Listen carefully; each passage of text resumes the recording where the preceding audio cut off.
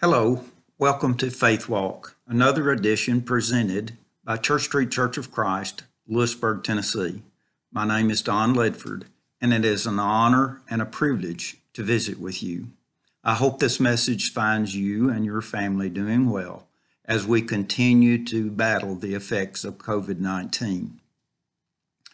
You know, to say the least, all of us have changed our routines in the last few days. Uh, I found myself the other day watching a basketball game, a professional basketball game that originated in uh, May of 1995.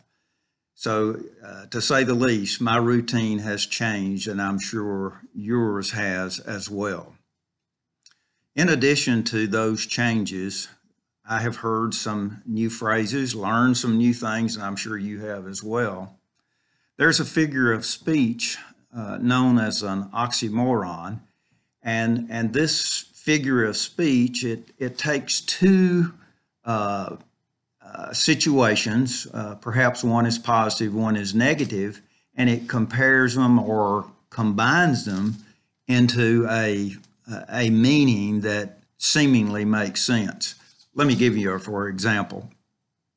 Yesterday, uh, not yesterday, but a few days ago, I heard the term alone together. Uh, now, when one dissects those words uh, and looks at looks at them in, in detail, that seems impossible. But as we continue to deal with the effects of COVID 19, that statement certainly is true. I wanted us to, to think about alone together in view of Romans chapter 12, verses 9 through 16. These verses are penned by Paul by inspiration, of course, and shared with the church at Rome. And of course, in first century, there were difficulties as the Lord's church uh, began in existence, and, and there were challenges, daily challenges that they confronted and were uh, faced with trials and tribulations throughout their lives. But I want us to look at these verses and then we'll kind of zero in on, on one or two verses specifically.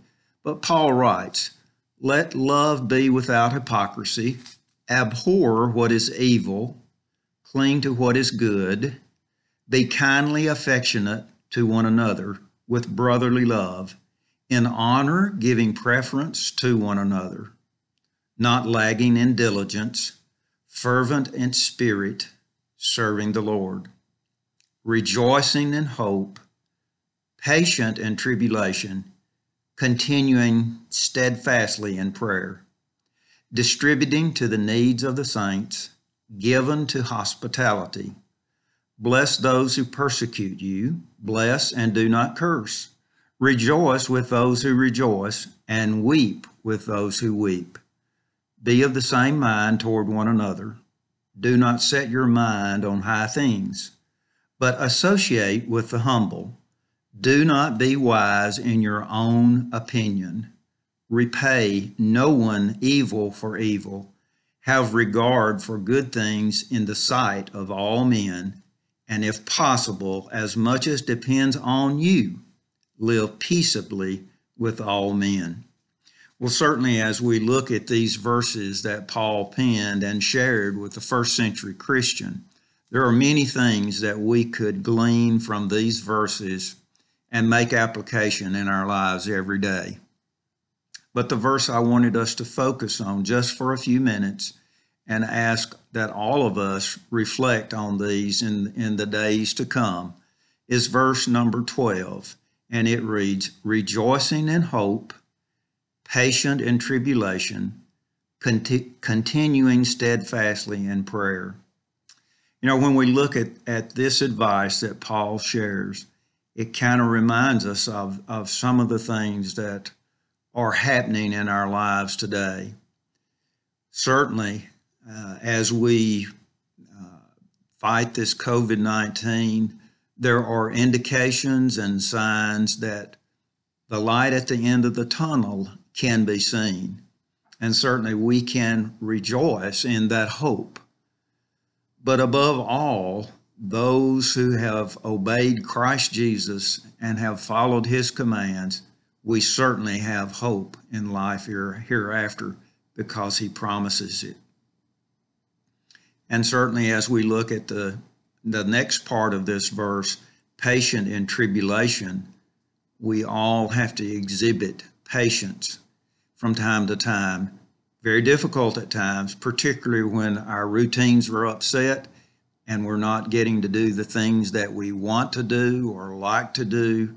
And, and those kinds of situations causes all of us to become impatient and, and want to lash out at, at someone or something.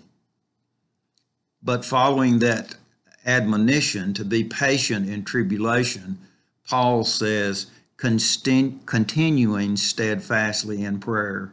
Or another way of saying that is unwavering.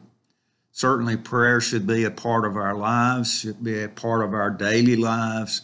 And in those situations, we should uh, visit with God through prayer and, and pour out our heart to Him.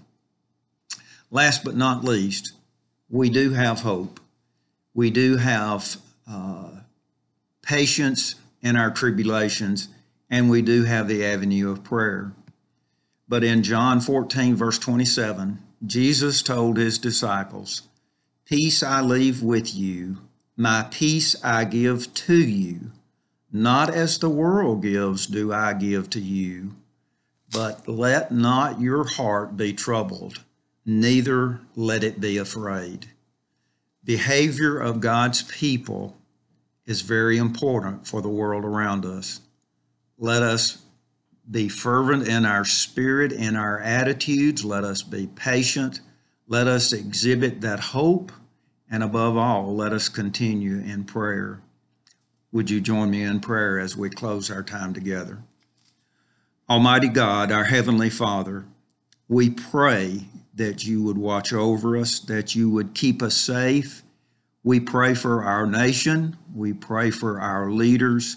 We pray for healing in our land.